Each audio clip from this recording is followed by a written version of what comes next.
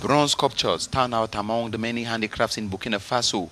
From the melting of the metal to the finished product, everything is carefully done.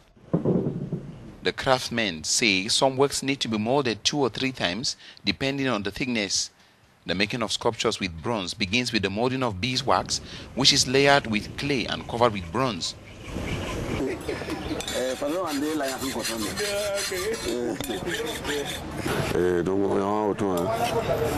Right now, I'm trying to make a horn-like musical instrument which is used by those who dance Waba de Zogo. We make items which can be used as decoration.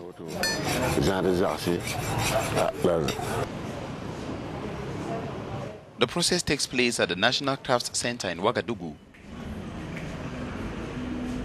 Although the high temperatures might not be favorable to tourists, few are able to resist the urge to go home with sweet memories.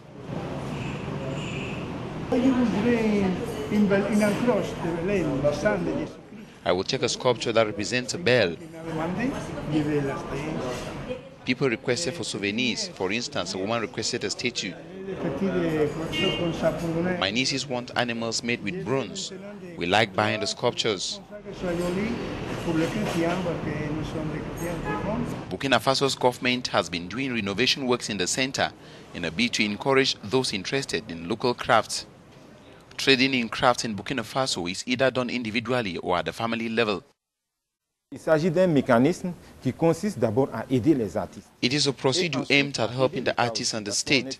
We discovered that institutions like the presidency, the prime minister's office are not decorated with the works of our artists. It is unacceptable.